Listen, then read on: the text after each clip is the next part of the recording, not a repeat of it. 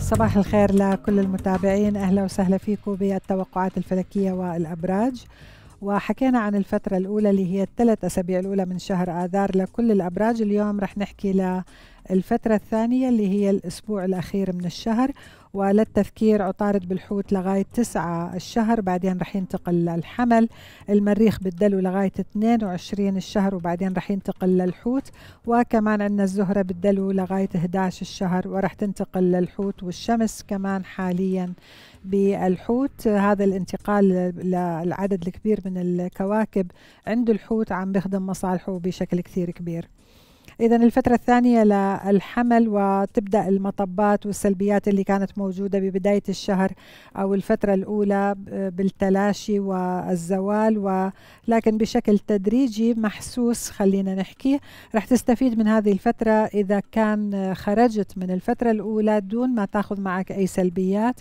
رح تشعر بالإيجابية الموجودة بالمعطيات بالأسبوع الأخير ولكن إذا كان أخذت معك سلبيات رح يكون هذا الوقت هو لتصحيح وتصويب الأخطاء اللي حصلت ببداية الشهر. آه كمان آه راح تلاقي السهولة بفهم المعطيات الفترة الثانية. كمان ما ننسى أنه الشمس عم تنتقل عند الحمل وهذا بيوضح الأمور بشكل كثير كبير. راح تفهم بعض المعطيات اللي كانت صعبة ببداية الشهر. تفهم المعطيات وتتخذ القرارات الصحيحة وتعوض عن كل ما فاتك بالفترة الأولى. تغيير إيجابي كبير على كل المستويات.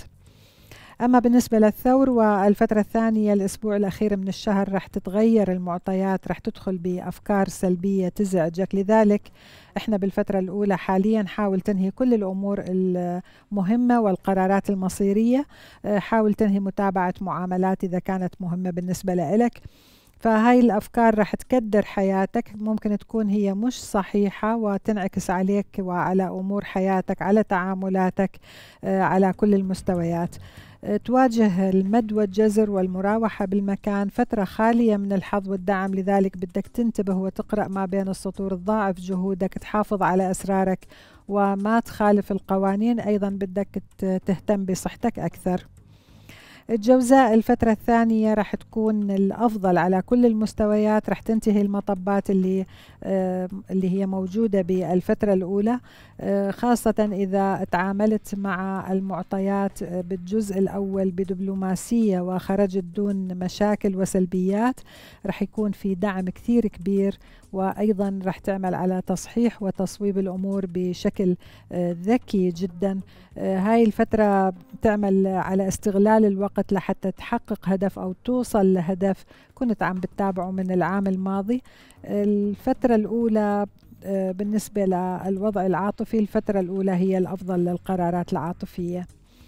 السرطان الفترة الثانية وتبدأ من يوم 21 الشهر رح تكون تحت الضوء ولذلك بدك تكون حريص جدا على قراراتك أقوالك تحرك تحركاتك. ما تسمح بالتدخلات الخارجية بحياتك على كل المستويات. ممكن تسمع النصيحة ولكن بدك تدرسها بشكل مضاعف قبل ما تعمل فيها.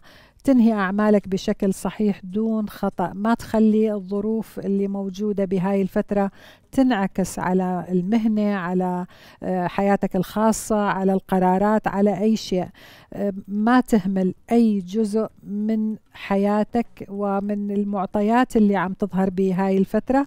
اعتمد الواقع وما تروح ورا خيالك. يعني لا تفكر بشيء بشكل سلبي وتعتبره هو صح وتمشي وراه. بدك يعني تأجل القرارات المصيرية بهاي الفترة ما تكون عاطفي وما تمشي وراء عواطفك استخدم أو اعتمد العقل أكثر من القلب.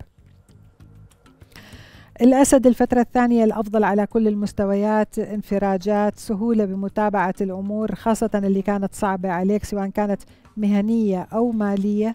وبحالة البحث عن بدائل مالية راح تظهر بعض المعطيات اللي تقودك لشيء في تعويض مالي أو تتذكر بعض الأمور اللي هي من من الماضي فبتفتح لك أبواب سواء كان على المستوى المهني أو البيع والشراء متابعة معاملة فيها ورث السفر متاح والأمور الصحيه راح تكون جيدة بإذن الله.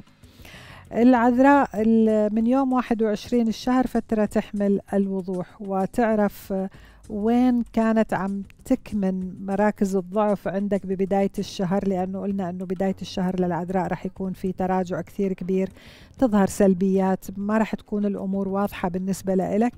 تبدأ تتوضح بالأسبوع الأخير وتفهم مين اللي كان معك ومين اللي كان ضدك. بدك تنتبه لصحتك بهاي الفترة. آه، من 12 الشهر تستعيد نشاطك. مش يعني إحنا عم نحكي عن الأسبوع الأخير ولكن من بعد 12 الشهر ممكن آه، تستعيد نشاطك وتمشي بخطوات جديدة. آه، فترة بدك تعتمد فيها الدبلوماسية بشكل كثير كبير. عم تبحث عن السلام الداخلي وهذا اللي يخليك إنك تعتمد الدبلوماسية. فترة جيدة لغير المرتبطين للالتقاء بالشريك المناسب أو لاتخاذ القرار بالارتباط. الميزان الفترة الثانية هي مكملة للفترة الأولى. فترة تحمل الضغوطات ولكنها إيجابية إذا عرفت كيف تتعامل مع معطياتها.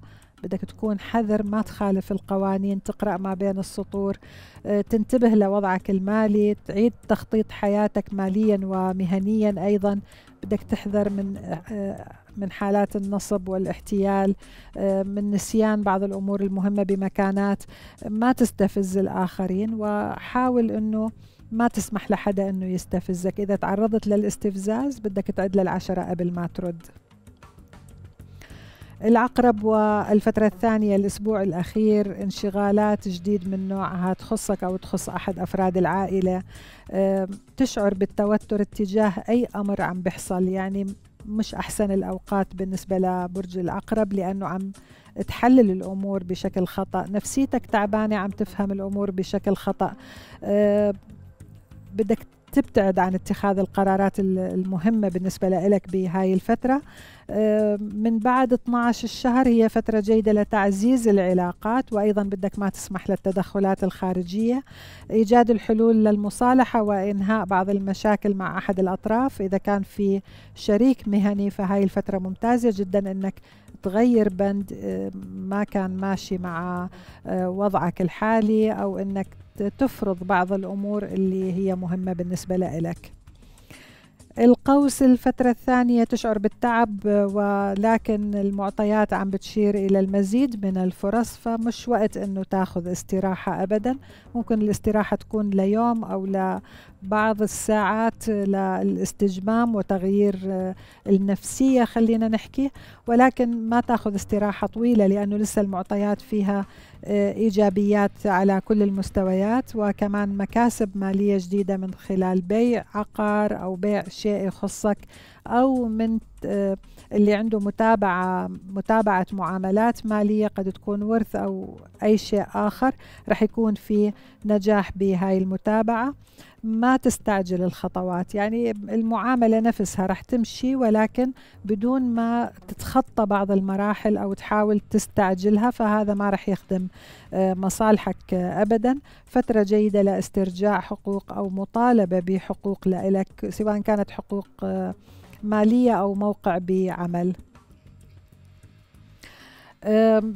ان شاء الله الجدي والدلو والحوت بكره نحكي لهم وراح نحكي بعدها للوضع العاطفي شكرا لمتابعتكم يسعد صباحكم صح صح صح صح, صح, صح, صح, صح, صح, صح